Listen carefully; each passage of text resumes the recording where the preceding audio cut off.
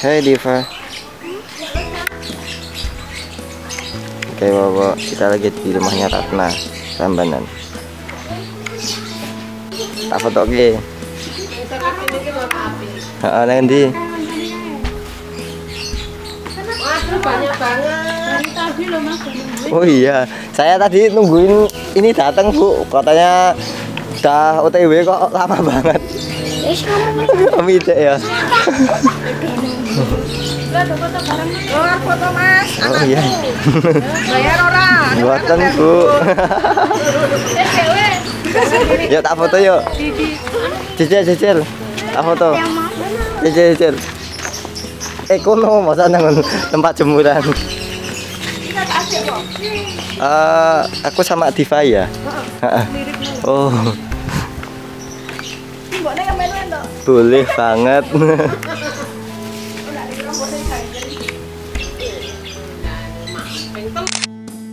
Sik, lagi. Yuk, Pak, siap. Tuh, dua, tiga.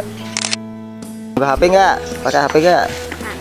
Mana? Kaosnya. Bu. Bu. Besok, Bu. Next, next besok dikasih foto, Bu. Aku. Nggih, bisa. Oh iya. Siap. Yuk, sana.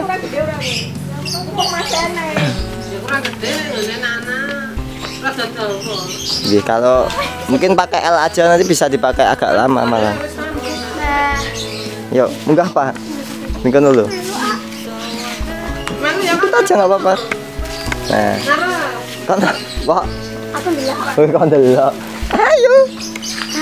Kena kena kena. Ke? Oh, kok malah foto oke. Iki guyon lho. Eh. Lek neng dhuwur gen gen dhuwur.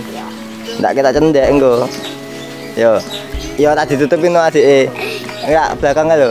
Nah. Ya wes ya ngono ya, ya. Manut.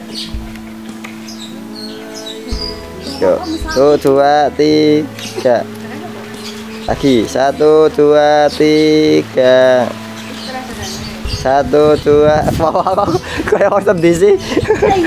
Yo, satu, dua, tiga. Satu, dua, tiga. Iya, cek dulu. Siap. Ini cetak langsung. Kita. Yuk, apa tuh yuk? Mas. Kabeh.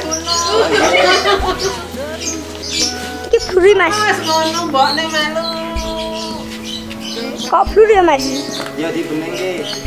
Kan yang di Ora mau iki kan ada Jadi awalnya itu daripada mereka eh, main aja terus gimana kalau diajarin sesuatu yang nggak ada di sekolah gitu ya. terus program pemuda ini dibuat ada beberapa ini kategori. Ya salah satunya acting. Acting kalau tujuh kita biasanya bikin drama tapi tahun ini kebetulan nggak ada. Ya itu acting terus sama ada yang musik. Kalau yang musik yang ikut baru beberapa.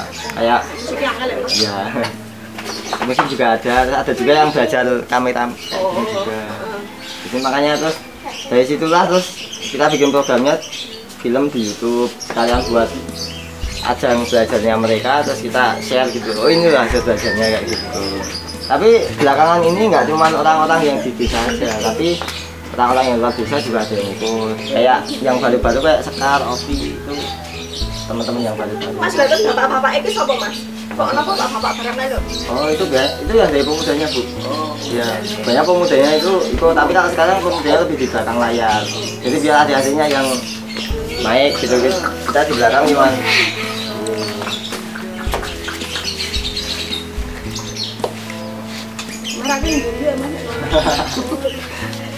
kadang-kadang idenya campuran ya bu. Ada yang dari anak anak-anak mah Idene langsung apa nganggo anu? ada yang ditulis, ada yang langsung. Jadi kalau pas lagi kumpul gitu terus aku udah guyonan gini mas. Oh ya udah catat dulu biar nggak lupa. Kadang mas dari bawanya sendiri atau dari yang lain juga kadang-kadang. Kan memang suka bercanda kan namanya juga anak-anak wah bercanda yang ini kok lucu gitu diangkat. Ya aku nek liwat kono sepi ya Mas. Anakku demen pengen mampir Pak, aku tak liwat ke kono. Lah kok sepi ya. Tengah ya Mas ya. iya tengah terus kadang-kadang kalau saat ini kalau kumpul itu per event maksudnya kadang-kadang kalau pas lagi maksudnya ada bikin film baru kita kumpul kalau enggak ya kalau enggak di WA dulu sama yang mau datang itu enggak pa- pada nggak ngerti karena rumahnya sekarang jauh-jauh kan Bu. maksudnya ada yang dari Citang Jogonalan ada yang dari Tengkang Gandiwaan sana jadi sekarang karena banyak yang maksudnya yang ikut gitu ya. Kita kan juga ayo ayo gitu nggak apa-apa. Cuman ya kesusahannya memang pada jauh-jauh ya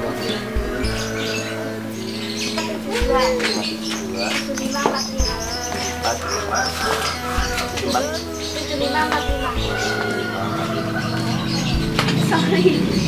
Malah di sana nomor siji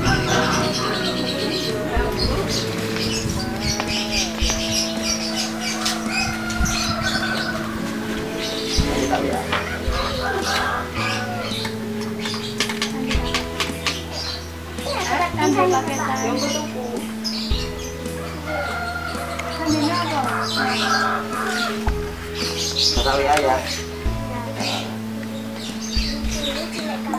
Eh, jadi berarti transaksi Mas. Eh,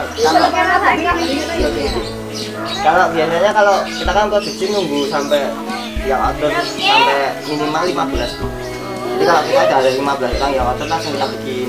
Biasanya habis bikin itu nunggunya kita tiga minggu. Itu masih kerjasama. Soalnya pengen sebenarnya pengen belajar konveksi nanti biar alatnya adik-adiknya juga belajar. Tapi masih cari linknya itu belum nemu.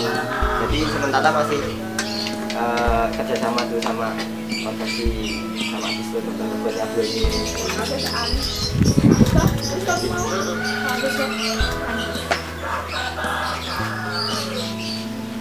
Orek, foto karo Mas lho, Rek.